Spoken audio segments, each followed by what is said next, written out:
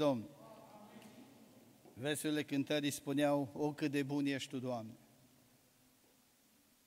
Cum a fost Dumnezeu pentru tine astăzi? A fost un Dumnezeu bun sau n-a fost un Dumnezeu bun?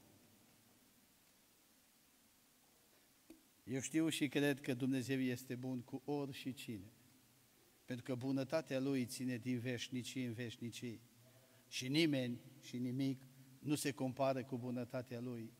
Chiar și atunci când nu meritam nimic, El, prin bunătatea Lui, ne-a ținut în mâna sa.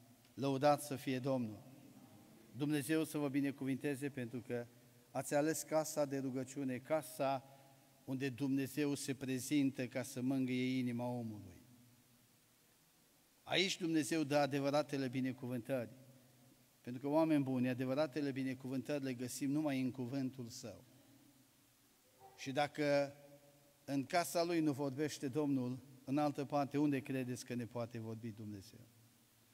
Adevărata binecuvântare, bine cuvânt are. Adică cuvântul lui Dumnezeu care se vestește peste noi. Zic, Doamne ajută-ne să avem un timp binecuvântat, să petrecem acest timp de câteva ore cât stăm în casa lui Dumnezeu aproape de El.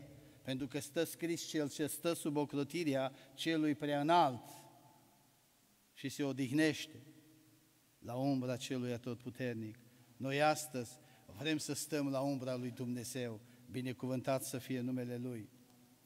Psalmul 112 spune în felul următor, Lăudați pe Domnul, ferice de omul care se teme de Domnul și care are o mare plăcere pentru poruncile Lui. Sămânța Lui va fi puternică pe pământ, neamul oamenilor fără prihană va fi binecuvântat. El are în casă bogăție și belșug și neprihănirea Lui dăinuiește în veci. Celui fără prihană îi răsare o lumină în întuneric. El este milostiv îndurător și drept. Oameni buni, trăim într-o lume plină de întuneric. Fie că vrem, fie că nu vrem, acesta este un adevăr. Și oamenii lui Dumnezeu, copiii lui, trăiesc în acest întuneric. Cum poți să-ți dai seama dacă un copil, dacă un om este copilul lui Dumnezeu? Cuvântul lui Dumnezeu spune că celui fără prihană îi răsare o lumină în întuneric. De unde ne dăm seama care este această lumină? El este milostiv, îndurător și drept.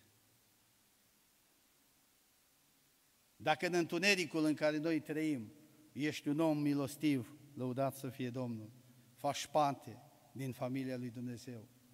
Dacă ești un om îndurător, și dacă ești un om drept, faci parte din familia lui Dumnezeu, binecuvântat să fie numele Lui.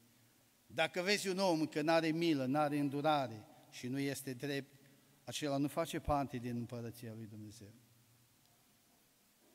Cum să răsară lumina Lui? De unde îți dai seama că El este un om al lui Dumnezeu? Oameni buni, haideți ca în următoarea rugăciune să ne rugăm Doamne, ajută-ne să fim îndurători, să avem milă și să fim oameni drepți, ca să se vadă adevărata lumină a lui Dumnezeu în lumea aceasta în care noi trăim. Vă rog, haideți cu toții să stăm ridicați în picioare și să rugăm pe Tatăl nostru să ne ajute în lumea asta plină de întuneric, noi să fim o lumină pentru alții, noi să arătăm altora care este calea care duce spre Dumnezeu. Binecuvântat să fie Domnul!